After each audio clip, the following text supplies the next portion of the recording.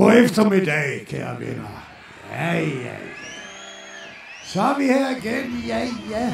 Det er søndag. Folk er taget i skoven. Normalt har jeg jo ikke 30.000 øh, øh, til hver koncert. Der er to timer til showtime. Crewet knokler for at blive klar. Lille trummen vender aldrig forkert. Det er jo ligesom afslutningen på hele sæsonen. Og folk har forventninger til, at vi går ud og gør det godt. Og, og det gør vi også. Jeg står og spiller kampe. er elendig, men klarer sig på skærme. Ah, Netegn. Netegn. Netegn. Min forfinger går blæser. Smukfest har lokket folk med fri fadøl.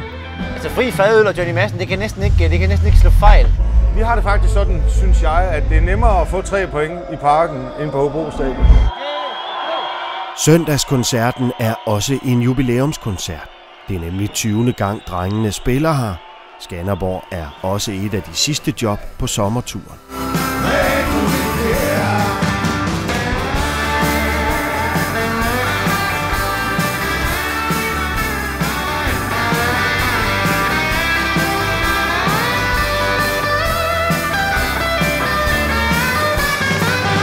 Jeg skulle ikke være med til at spille bedre i noget band, end, øh, end vi har gjort i år. Det, det har jeg ikke simpelthen.